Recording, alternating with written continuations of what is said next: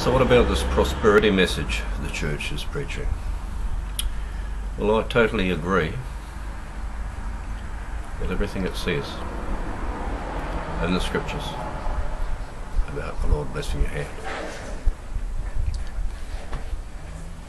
But as far as uh, what I can see in the New Testament, Book of Acts, and from Fox's Book of Martyrs,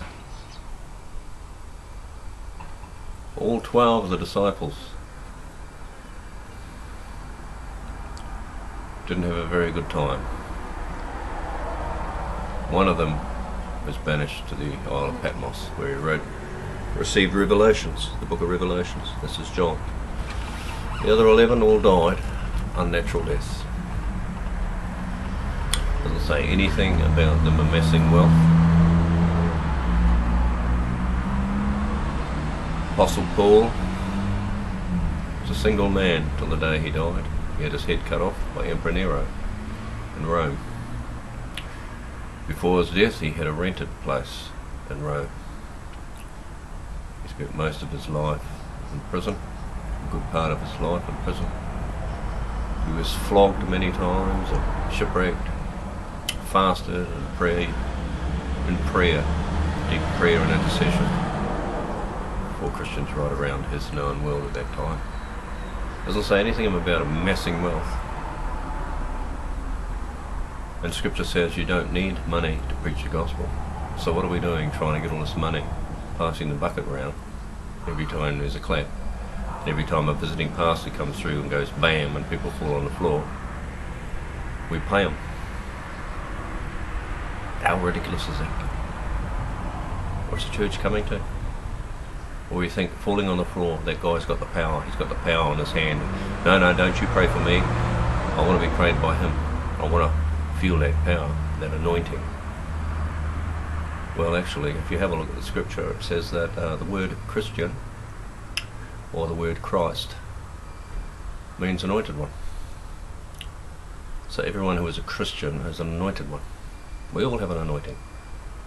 We accept the whole gospel by faith. We don't need the squealy feelies, the tickly wicklies. If you do, praise the Lord, that's great. Hey, but you don't. I know one, one preacher that was marching back and forth. He was late to get up there on the uh, pulpit. He marched back and forth in the back room, crying out to God that he's not going to do it unless he gets the anointing. Come on, guys.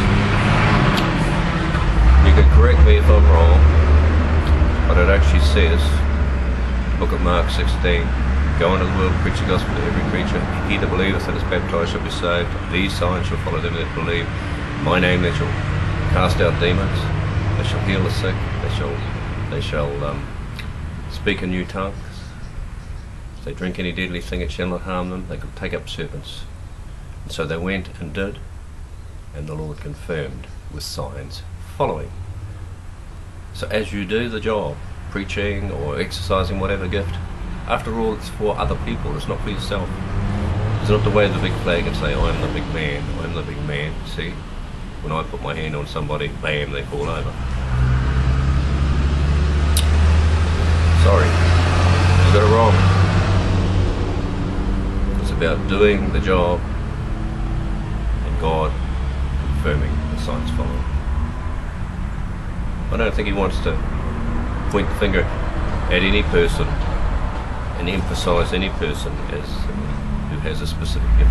In fact, when I looked at the gospel, Jesus healed. They told him not to say anything. Then he snuck off back into the crowd. So come on, church, wake up. Fastest growing church in the West is the church of the unchurched. It's people that are sick of the rubbish that's happening there. So they go away. But they lay themselves open to the enemy to persecution one way or the other, and temptation, because they haven't got a brotherhood around them. We need to look after people, people, sheep. We need to be servants. God can then do something.